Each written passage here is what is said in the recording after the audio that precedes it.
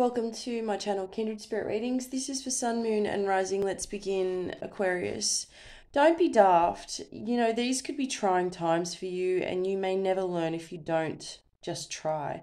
Something's going on with your finances that you never thought would happen. Perhaps there's money missing, or somebody owes you a lot of money, and you don't know how to handle the situation somebody's got some explaining to do. A fellow female friend of yours has disguised a conversation which is similar to the one that you had months ago.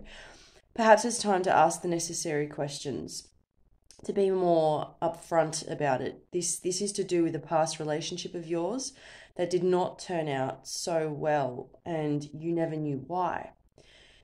You're asking yourself loads of other questions this week everything around you is changing now, a lot of which will be out of your control. There are accidents this week, minor falls. It could be that you are a little clumsy. This week, if you're finding that some things are just not working out, then let it be. What, whatever you cannot control may frustrate the hell out of you.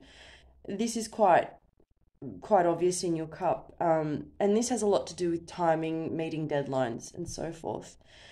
You could be catching up with an old friend from school or even somebody you used to work with. This is laughter, it's great banter, but clearly after the catch up, you would have realized how the two of you have moved on and, and you both go your separate ways.